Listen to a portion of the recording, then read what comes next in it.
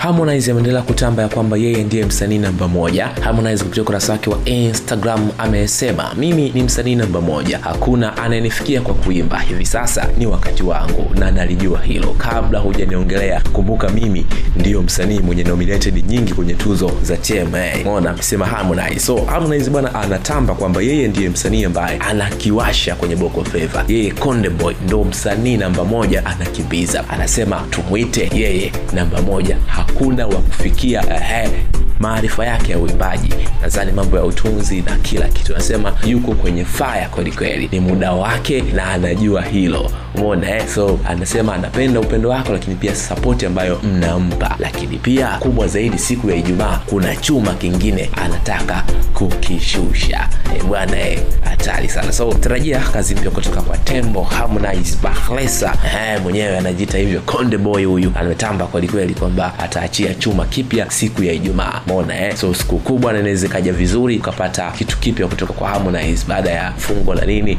sindo? Mwisho wa siku unamalizika, kwa hiyo burudani lazima iendelee. So ametangaza hivyo Harmonize kupitia ukurasa wake wa Instagram, upande wa Insta story. Nasi Msasa Media tukasema sio vibaya tusikilizie story hii uweze kuona kile ambacho kimetokea. Kikubwa subscribe hapo, kaa sisi kwa ajili ya kupata stori nyingi zaidi saa 24 sasa kisasa zaidi. Bye.